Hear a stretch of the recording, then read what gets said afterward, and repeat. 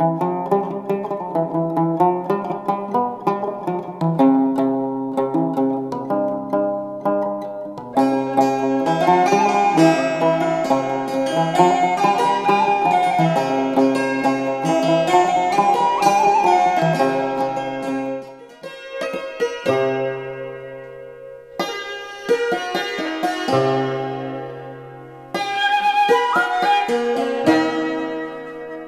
Op uitnodiging van het Nederlands Butaan en Partners bracht wielrenster Marianne Vos in oktober een bezoek aan Butaan.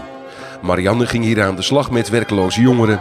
Ze stapte met hen op de fiets en liet de jongeren door middel van sport en spel hun eigen vermogens ontdekken. Het is natuurlijk voor het uh, jongerenprogramma, um, die eigenlijk weinig maatschappelijke vooruitzichten hebben, die, uh, die jongeren. En juist door dat sportprogramma komen ze met elkaar in verbinding Um, leren ze samen te werken. Leren ze wat het is om uh, ergens naar een doel te werken, ambitie te tonen. En uh, ja, komen ze hopelijk aan werk en hebben ze een betere toekomst. En juist die sport is daar natuurlijk een, een prachtig middel om ze te verbinden.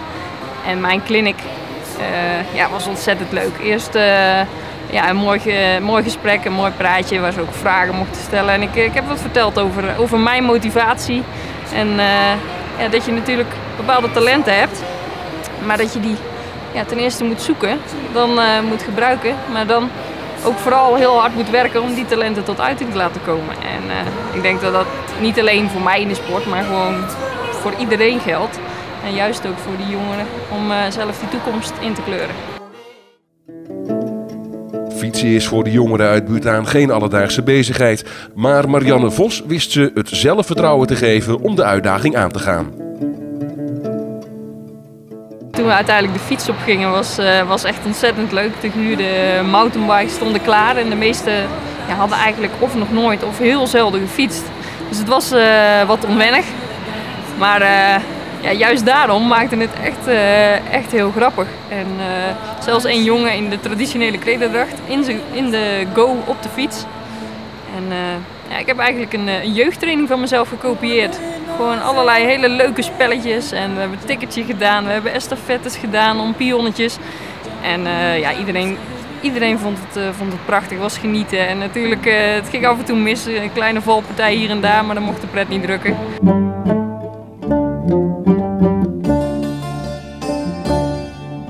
Na de nodige oefening stond er een tour van Timpoe naar Paro en terug op het programma. Een tour waar niet alleen de jongeren van genoten, ook Marianne Vos was diep onder de indruk van de schoonheid van Bhutan. Ten eerste is het een prachtige route. Heel mooi langs de rivier, uh, door de bergen. En uh, ja, ik, uh, ik vond het heel gaaf om sowieso al die route te rijden. Maar met een groep uh, is helemaal extra bijzonder. Dus uh, allemaal op de, op de mountainbike van uh, Paru naar. En uh, nou ja, het verschil was natuurlijk groot, maar samen uit, samen thuis. Dus proberen de groep samen te houden. En iedereen had er zoveel plezier in. Voor, ja, voor de ene was het wat moeilijker dan de andere. We stopten na, na een kilometer of tien en er waren er al bij met kramp. Maar de meesten hebben het gewoon voltooid. Doorzetten. En nou ja, dat is denk ik wel een, een, een les uh, die ze goed mee of in de oren hebben geknoopt. En nou ja, dat is prachtig om te zien. Niet alleen de clinicdeelnemers verlegden hun grenzen, ook Marianne Vos kwam in Bhutan tot nieuwe inzichten. Als topsporter ben je inderdaad niet zo bewust van je functie of misschien als, als rolmodel. Ik, ik zie mezelf helemaal niet als rolmodel. Want je, je probeert gewoon zelf uh, de resultaten te halen je probeert jezelf te ontplooien. En natuurlijk is het mooi als anderen daar ook van mee kunnen genieten of uh, inspiratie uithalen. Maar hier merk je echt dat die inspiratie gewoon zo uh, opgepikt wordt en dat die motivatie over wordt genomen. Ja, en dat is een, is een heerlijk gevoel. Uh, ja, normaal is het vrij egoïstisch. Maar juist daarom is het zo mooi als je dan ook andere mensen in die, ja, in die sport kunt betrekken. En als ze daar ook van kunnen genieten. En genoten is er. Zoveel zelfs dat Marianne Vos absoluut nog een keer terug wil naar Bhutan.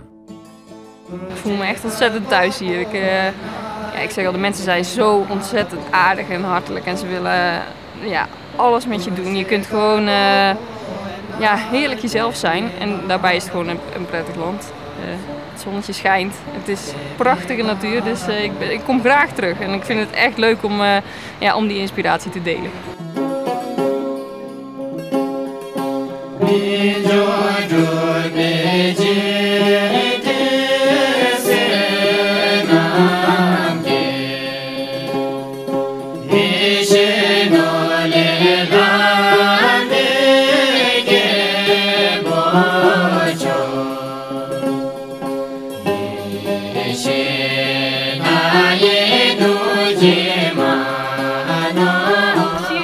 Now all, so that's uh, that's really great.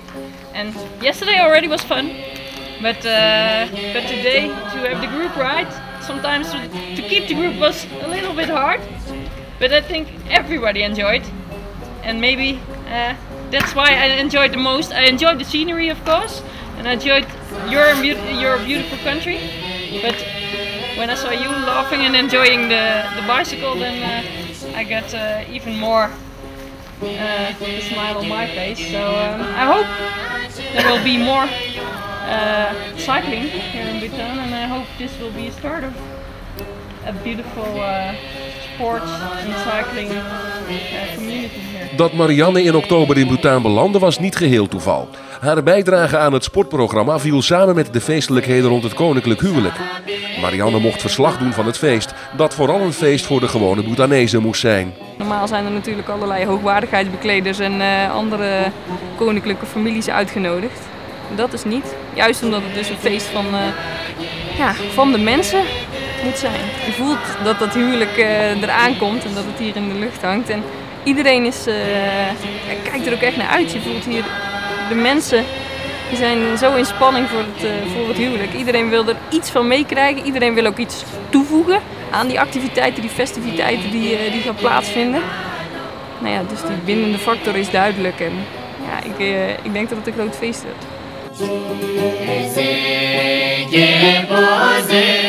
Bij een groot feest hoort gepaste kledij. Voor de gelegenheid hulden de atleten zich in de traditionele kleurrijke kleding van het boeddhistische koninkrijk.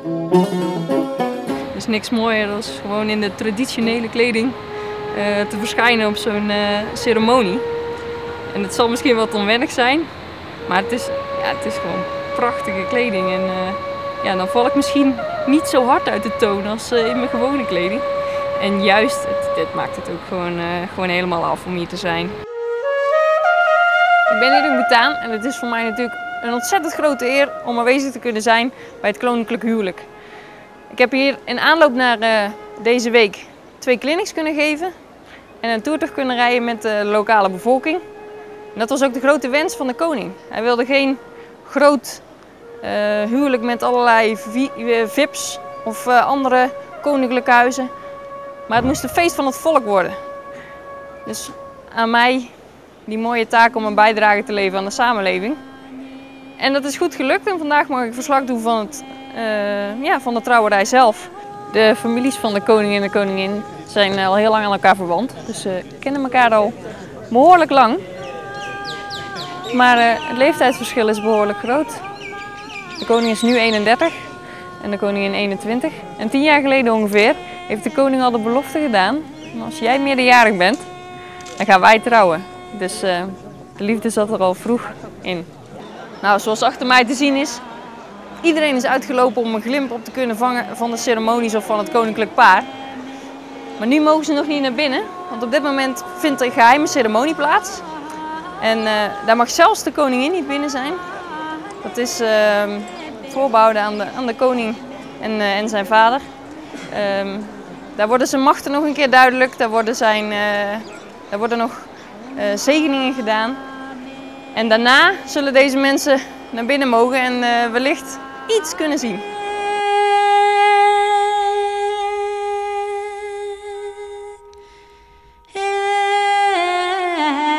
Marianne Vos is verliefd geworden op het land in de Himalaya en ervan overtuigd dat Nederland veel kan leren van Bhutan.